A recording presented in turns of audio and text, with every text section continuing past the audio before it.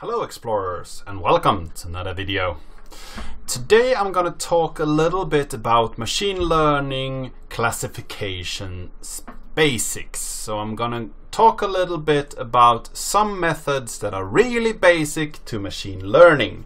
So these are some of the uh, different categories that you can use for classification. There are more of them, but I chose some of them that I know well and some of them that are really good to know about when you're talking about machine learning.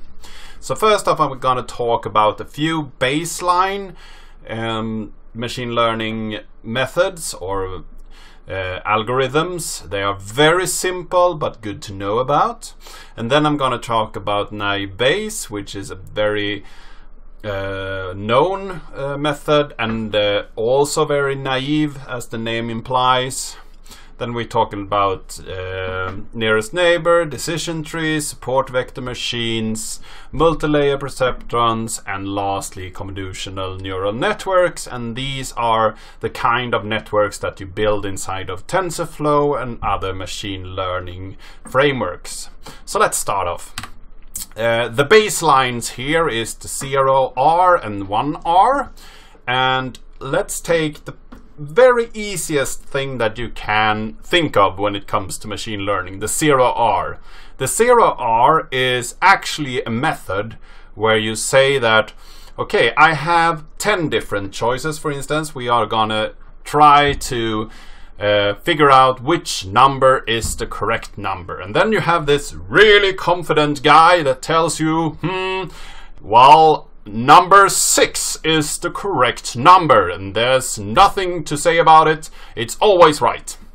So you run your tests and realize that, yeah, he is probably right, let's say 12% of the time. So that's a baseline. It's not a good one, but it's one of them. And let's say that we have some knowledge about the picture with the different uh, numbers in them, and we can say that this confident guy again says that if there is a line through it, then it or a line in the picture, then we say that this is a 1. And no, it's a 1, it's nothing but a 1. And he probably be right about 25% of the time. That's another metric. We take just one single thing into account, and that is what we base our um, machine learning on. And these are good baselines to see that if you find any method that you run that are worse than these two, then you have probably not a good machine learning technique. Next up, we have naive Bayes. Naive Bayes is something that takes every different aspect of your picture, so all your inputs, and just put them into a probabilistic uh, computation. So you can say that if this is correct, then give it uh, a, a, number but between 1 and 0. And then you take the next one, give that a number one between 1 and 0, and you add those up and divide them and then you will get a probabilistic uh, result that will point to one of your numbers. So it's very naive, but it will take all your different input data and give you some kind of output, which could be good. And it seems like even though this is naive, it was a, one of the first that was invented, it's actually correct and at an alarming rate very good. Uh, because let's say that you have a really, really good uh, um, convolutional neural network that can find a solution for something by 99% of the time. Naive Bayes could actually be as good as 86 percent of the time and that could be useful useful in some situations if you want a really fast and easy solution to your problem.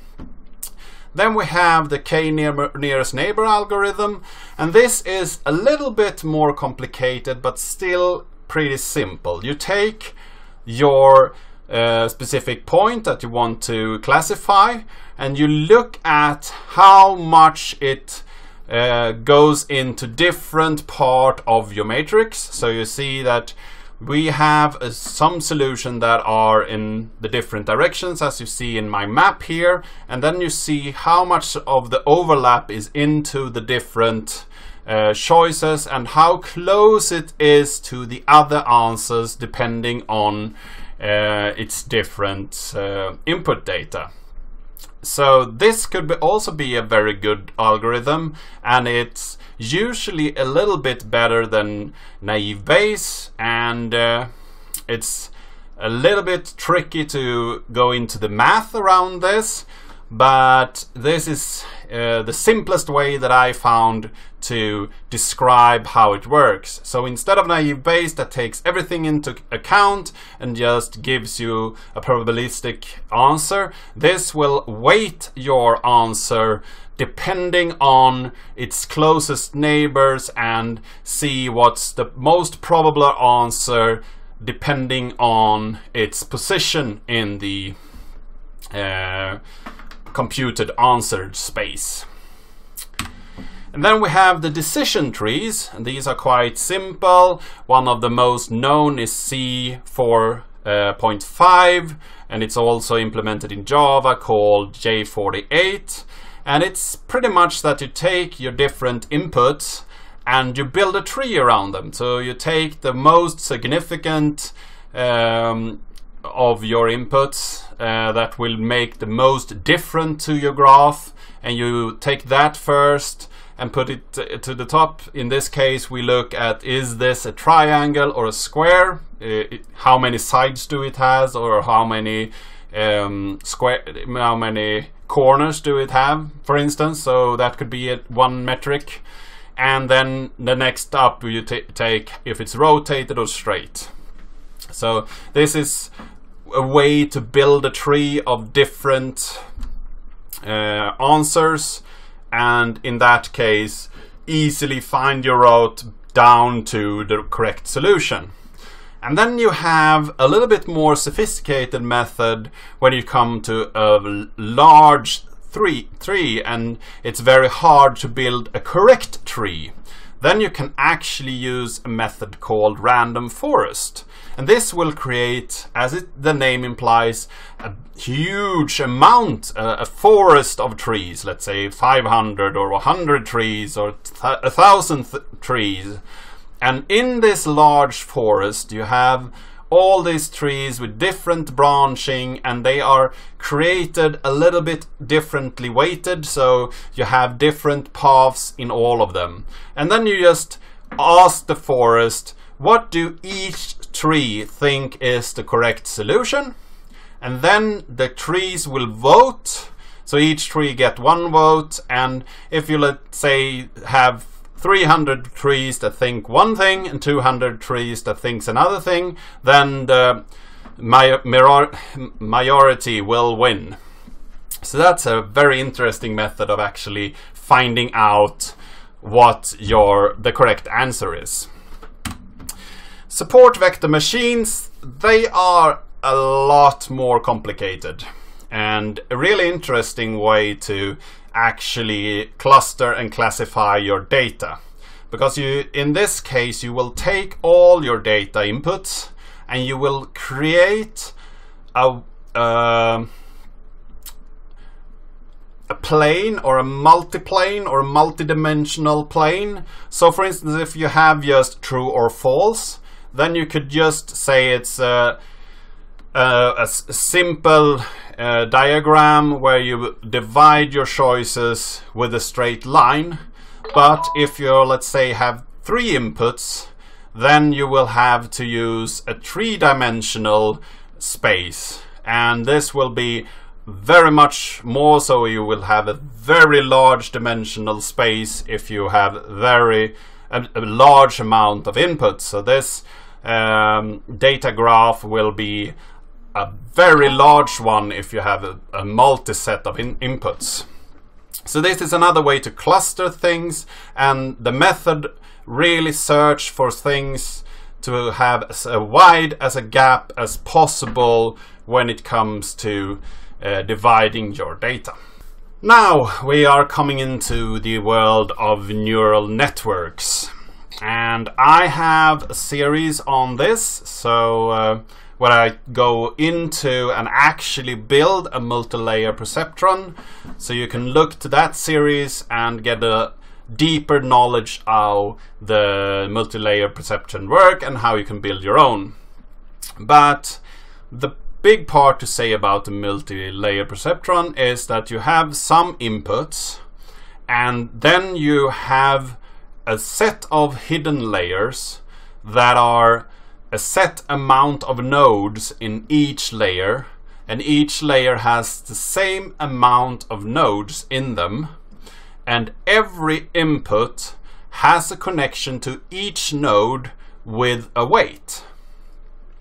So you have a full matrix with all the uh, all the different weights in it and you will train this network to create um, weights that are the correct weights for each input that you have in your training set to get the correct outputs.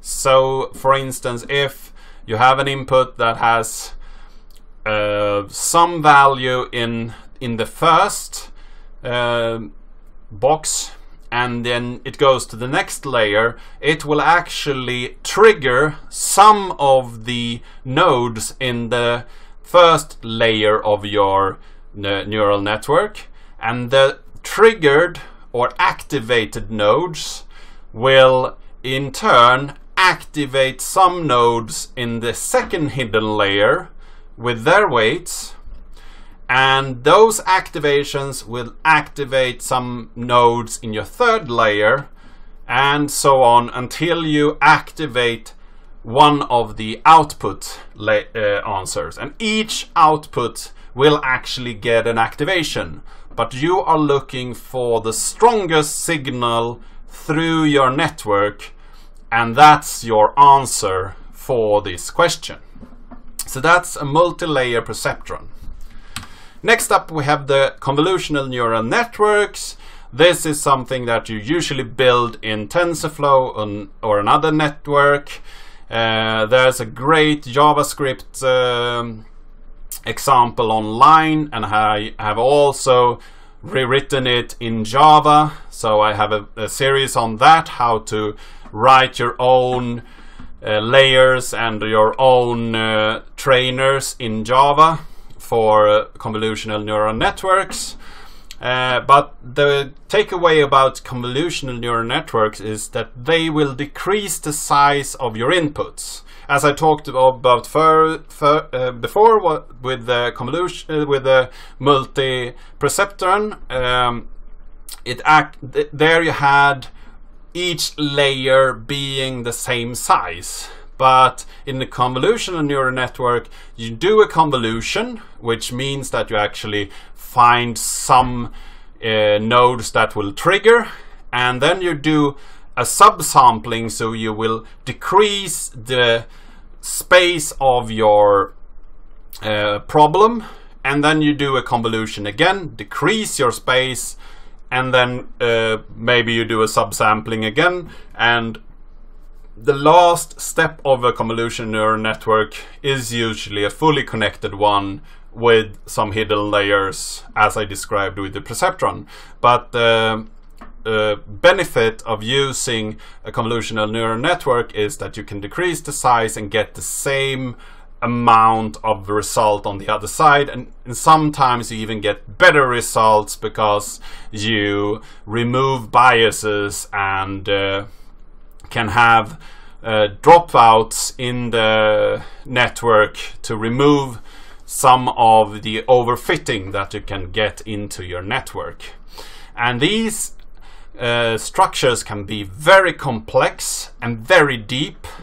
So if you're looking at the graph on uh, the left hand side here above my head, uh, you have some different methods and this is a, a little bit of an, an old picture but you see here that it actually gets better for each year that I trained it. So you had the first um, competition they had in 2010 they had a, uh, error rate of 28% and then the next year 20, uh, 25 the next year 16% the next year 11% the next year 7% then 6% and the last year that this graph shows there you have the ResNet with 3.57% er of errors in a large amount of uh, image data and the layers has actually